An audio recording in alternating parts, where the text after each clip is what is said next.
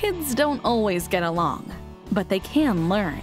Get Along Monsters teaches young kids get along life skills like handling anger, solving conflicts, sharing, and more. Through animation, songs, and video modeling, your child will learn important social skills and